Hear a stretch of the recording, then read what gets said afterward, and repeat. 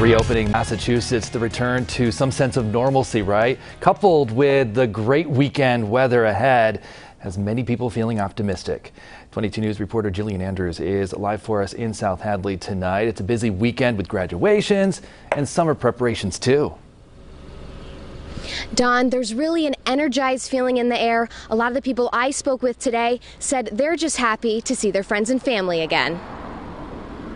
Feels great to be out of the uh, house and being outside and amongst friends and family again. The boathouse and Brunelle's Marina in South Hadley are seeing a lot more foot traffic these days. A beautiful view of the water, blue skies, and more freedom following the CDC's announcement that vaccinated individuals no longer need to wear a mask. But I definitely um, am excited that things are getting back to normal. Massachusetts still has its mask mandate in place, but Governor Charlie Baker hinted that it may be relaxed beginning next week.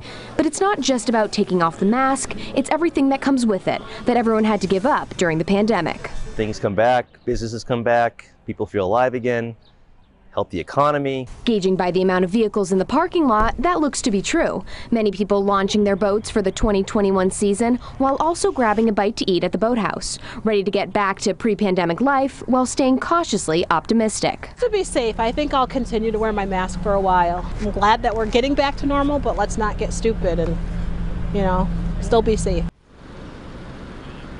Face coverings are still required in indoor public places here in Massachusetts, but again, that could change next week. Working for you live in South Hadley, Jillian Andrews, 22 News.